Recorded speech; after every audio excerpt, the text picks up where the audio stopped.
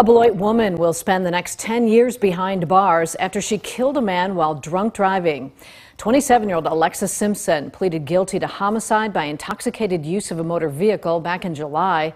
The crash happened in January near 4th Street and Maple Avenue in Beloit. Simpson hit a car alongside the road where Chad Race was changing a tire.